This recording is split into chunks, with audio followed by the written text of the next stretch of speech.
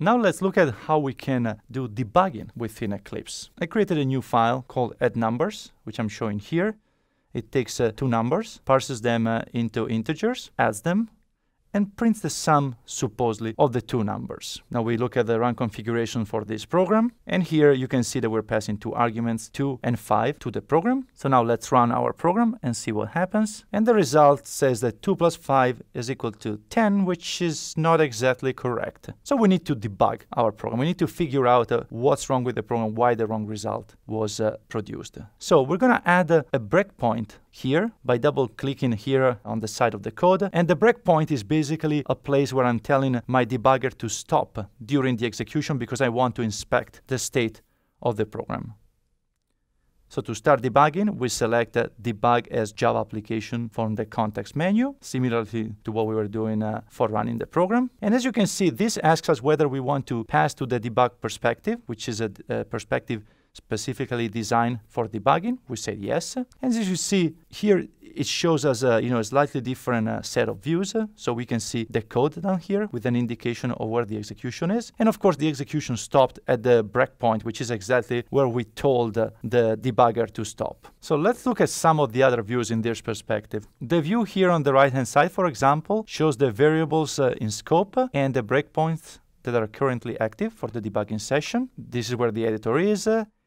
Uh, the outline of the program, and the console at the bottom. So now let's uh, execute one line by clicking on the step over button here at the top and this will execute the line that is currently highlighted and therefore it will move uh, to the next line. And as you can see one nice feature is that if I move the mouse over a variable I can see the value of the variable.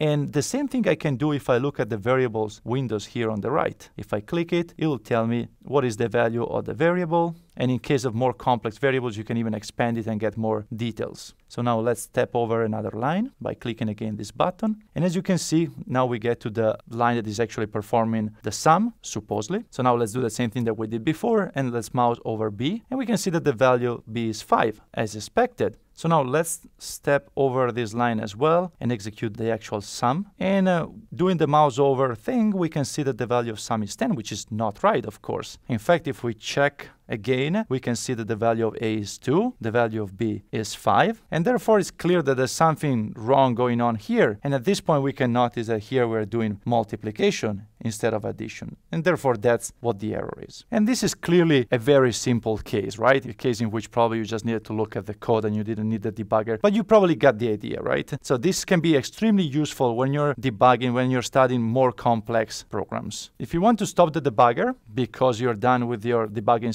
session, as in this case, you can either click here on the terminate button, or you can also just simply tell the debugger to continue the execution, to resume the execution until the program terminates naturally. So in this case, we're gonna click here just to show what happens. And what happens is that, you know, the execution will just continue until the program exits. So now let's say that we want to fix this problem that we just discovered. So we replace the, the multiplication with an addition we save the program and we execute the program again by clicking on this button and at this point unsurprisingly we get the right result as shown in the console.